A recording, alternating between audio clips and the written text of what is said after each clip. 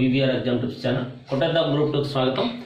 Paper one paper two paper త్రీకి సంబంధించి intensive అప్రోచ్తో guidance అందిస్తున్నాం. కొత్తగా మన ఛానల్ చూస్తున్న వారు ప్రీవియస్ వీడియోస్ ఒకసారి చూడండి. గ్రూప్ టూ మీ లక్ష్యం అయితే ఈ ఛానల్ మీకు అందుకు దోహదపడుతుంది.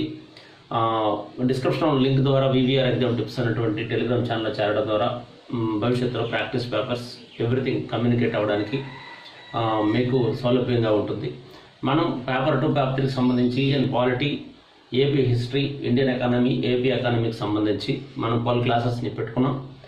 సిలబస్ ఆధారంగా కరెంట్ అఫైర్స్తో అనుసంధానం చేస్తూ క్లాసెస్ని కంటిన్యూ చేస్తున్నాం. ఈ నేపథ్యంలో ఇండియన్ ఎకానమీకి సంబంధించి మనం ఒక ఇంపార్టెంట్ టాపిక్ యూనిట్ త్రీ నుంచి తీసుకున్నాం. దానిలో జనాభా అనే టాపిక్ని కంటిన్యూ చేసాం జనాభాకు సంబంధించి ఇండియన్ ఎకానమీ ఏ- AP economy Indian geography AP జాగ్రఫీని club చేసి ఒక కరెంట్ టాపిక్తో అనుసంధానం చేసి ఇప్పటికే ఒక ఐదు వీడియోస్ని కంటిన్యూ చేసాం అందులో భాగంగా ఈ కంటిన్యూషన్లో ఈరోజు ఇంకొక ఇంపార్టెంట్ పాపులేషన్ థీరీ సంబంధించి ముఖ్యంగా పాలసీస్ సంబంధించి జనాభా పెరుగుదలకు సంబంధించి ప్రభుత్వం చేసినటువంటి కార్యక్రమాలు ప్రభుత్వం చేపట్టినటువంటి పాలసీస్ కానీ విధానాలు కానీ లేదంటే ప్రభుత్వం తీసుకున్న నిర్ణయాలు కానీ నియమించినటువంటి కమిటీలు కానీ సిఫార్సులు కానీ లక్ష్యాలు కానీ ఇలా చాలా అంశాలు మనం ఈరోజు ఈ వీడియోలో చర్చించుకుందాం. మనకి ఎగ్జామ్ పాయింట్ ఆఫ్ వ్యూలో ఈ నేను ఈరోజు ఒక ముఖ్యమైనటువంటి అంశాలని ఆ చాప్టర్లో ఉన్నటువంటి కీలకమైనటువంటి అంశాలని మీ ముందుకి వీడియో రూపంలో తీసుకొచ్చాను. ఇవి ఖచ్చితంగా మనం నేర్చుకోవాల్సి ఉంటుంది నోట్స్లో రాసుకోవాల్సి ఉంటుంది.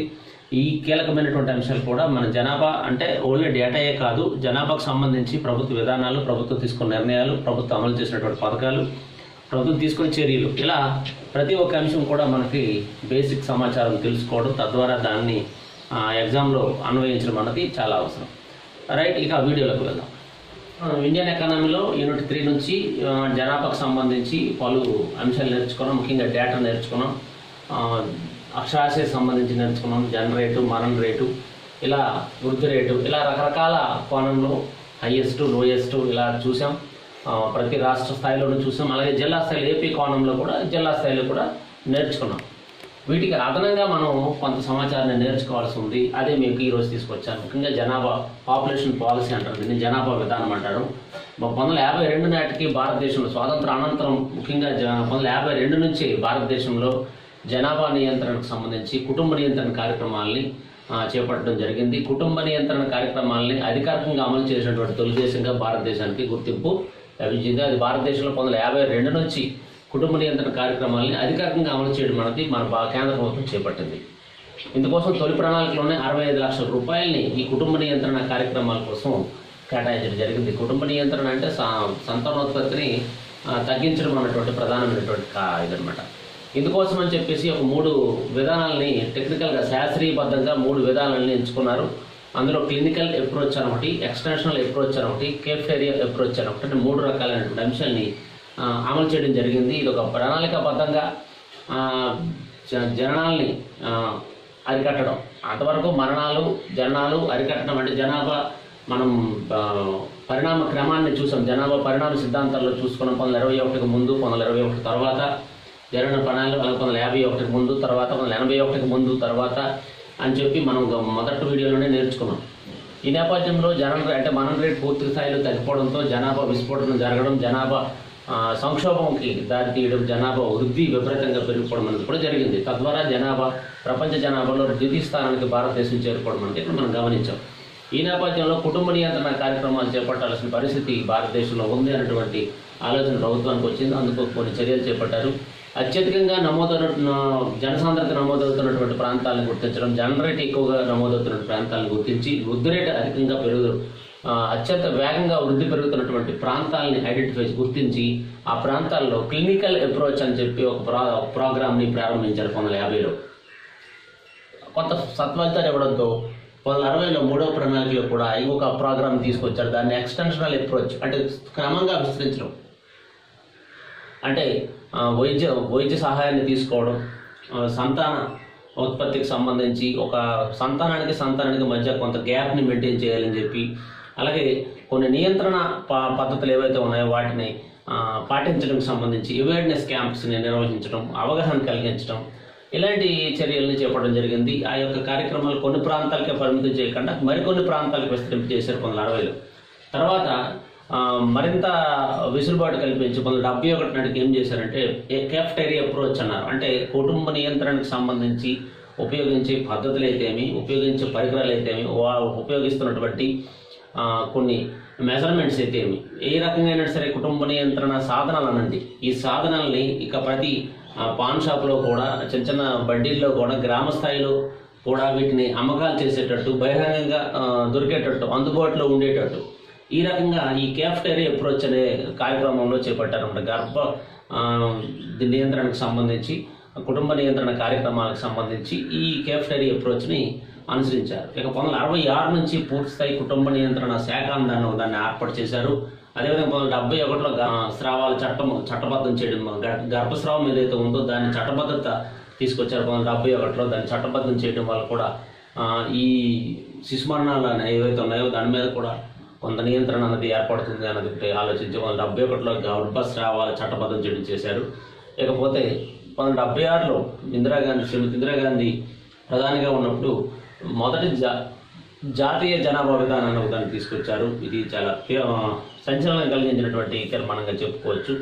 ఇందులో భాగంగా ముఖ్యంగా బాలికల వివాహ వయసుని పదిహేను నెలల నుంచి పద్దెనిమిది ఏళ్ళకి పెంచడం బాలుర వివాహ వయసుని పద్దెనిమిది నుంచి ఇరవై ఒకటికి పెంచడం లాంటి కార్యక్రమాలు కూడా చేపట్టారు.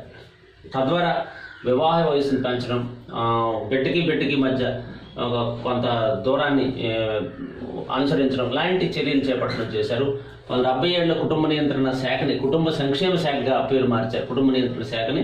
అంటే పంతొమ్మిది అరవై ఆరులో కుటుంబ నియంత్రణ శాఖ అనేది ఏర్పడింది. పంతొమ్మిది డెబ్బై ఏడు నాటికి ఈ కుటుంబ నియంత్రణ శాఖ కాస్త కుటుంబ సంక్షేమ శాఖగా ఏర్పడింది. ఒక మంత్రిత్వ శాఖని అమలు చేయడం కేంద్ర ప్రభుత్వం ఒక మంత్రిత్వ శాఖ దీన్ని ప్రత్యేకించి కేటాయించి ఆ మంత్రిత్వ శాఖ ద్వారా ఈ కుటుంబ నియంత్రణ కార్యక్రమాలు మెడికల్ ఎయిడ్ ఇలాంటివన్నీ కూడా అందించడం అనేది చేశారు. ఇక పంతొమ్మిది తొంభై ఒకటిలో జనాభా కోసం జనాభా నియంత్రణ కమిటీ దాన్ని నిర్మించారు. దీనికి కరుణాకరణ్ అనే ఒక ఆయన నేతృత్వం వహించారు. ఈ నేతృత్వంలో వచ్చినటువంటి జనాభా కమిటీ అనేది చాలా పలు కీలకమైనటువంటి సూచన చేసింది. అందులో ప్రధానమైనటువంటి సూచన ఇద్దరు కంటే ఎక్కువ పిల్లలు ఉన్న వారిని చట్టసభలకు అనర్హత అని చెప్పి ఒకటి సూచించారు. ఇది చాలా కీలకమైనటువంటిది. అంటే ఇద్దరు బిడ్డల కన్నా ఎక్కువ మంది పిల్లలు ఉన్న వారిని చట్టసభలకి అనుమతి నిరాకరించాలి అనర్హులుగా ప్రకటించాలన్నటువంటి సూచన కరుణాకరణ కమిటీ పంతొమ్మిది తొంభై ఒకటిలో చేసింది. అయితే చట్టసభల్లో అమలు కాకపోయినప్పటికీ స్థానిక సంస్థల పాలనలో మాత్రమే దామలవుతుంది తొంభై రెండు తొంభై మూడులో వచ్చినటువంటి మనకి పంచాయతీ పంచాయతీరాజ్ చట్టం ఏదైతే ఉందో దానిలో ముఖ్యంగా మున్సిపాలిటీ పట్టణాభివృద్ధి చట్టం ఒకటి అలాగే పంచాయతీరాజ్ చట్టం ఒకటి. ఈ రెండిట్లో కూడా ఈ యొక్క ఇతర పిల్లల కన్నా ఎక్కువ ఉంటే అంటే సర్పంచులు కానీ లేదంటే ఎంపీటీసీ కానీ జడ్పీటీసీ కానీ ఇలాంటి స్థానిక సంస్థలు ఏవైతే ఉన్నాయో వాటి ప్రతినిధులు ఎవరైతే ఉన్నారో వారికి మాత్రం ప్రస్తుతం ఇది అమలు అవుతుంది. ఇద్దరు బిడ్డల కన్నా ఎక్కువ ఉన్నటువంటి పిల్లవారు ఆ, అనర్హులుగా ప్రకటించడం అనేది స్థానిక సంస్థల్లో అమలు అవుతుంది ప్రస్తుతానికి. ఇక ఎనిమిదో ప్రణాళికలో చూసుకుంటే వికేంద్రీకృత కుటుంబ నియంత్రణ కార్యక్రమం. వికేంద్రీకృత గ్రామ స్థాయి నుంచే ఈ యొక్క నియంత్రణ కార్యక్రమాన్ని చేపట్టాలని దీని విస్తృత ప్రకారం కల్పించడం ప్రతి ఒక్కరికి బహిరంగంగా తెలిసే విషయంగా దీన్ని ఒక ప్రచారంలోకి తీసుకొచ్చారు. ఇక రెండు వేలలో జాతీయ జనాభా విధానాన్ని ఒకదాన్ని చాలా కీలకమైనటువంటి జాతీయ జనాభా విధానాన్ని తీసుకొచ్చారు. దీన్ని ఎంఎస్ స్వామినాథన్ కమిటీ సిఫార్సులను కూడా చెప్తారు. ఈ నూతన జాతీయ జనాభా కమిటీని నియమించి దీని ఓ పాలసీని రెండు వేల నేషనల్ అదే పాపులేషన్ పాలసీ అని దాన్ని తీసుకొచ్చారు. దీనికి ఎంఎస్ స్వామినాథన్ నాయకత్వం వహించారు.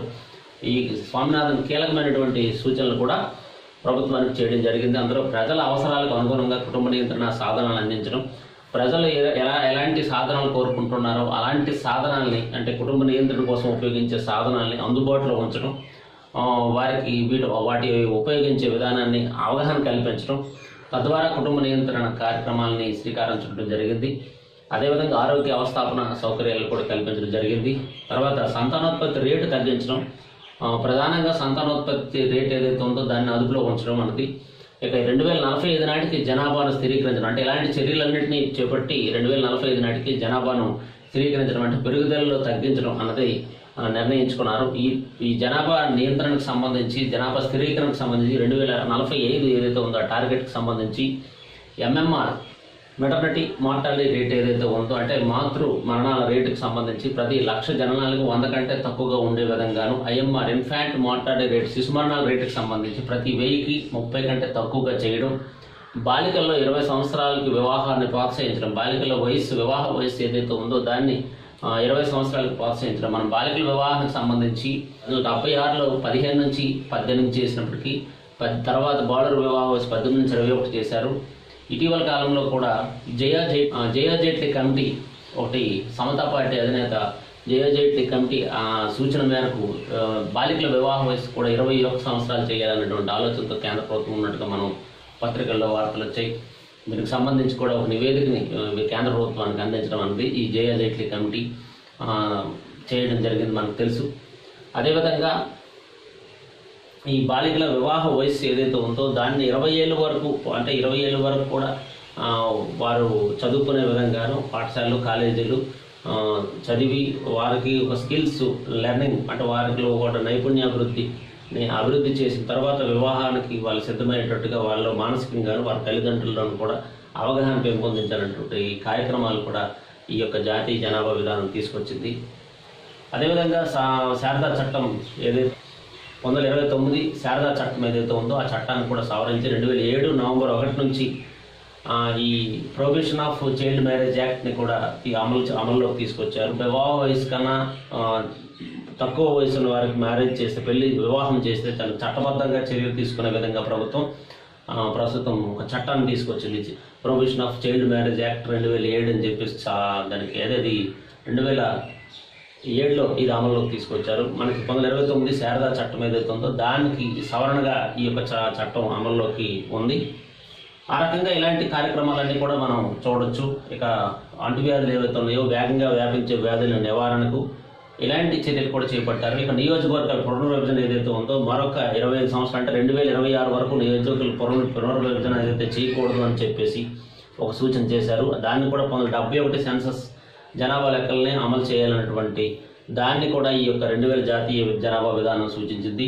ఇంకొక అంశం ఏంటంటే బీమారు రాష్ట్రాల్లో జనాభా తగ్గించడం. ఈ బీమారు అంటే బీహారు మధ్యప్రదేశ్ రాజస్థాన్ ఉత్తరప్రదేశ్.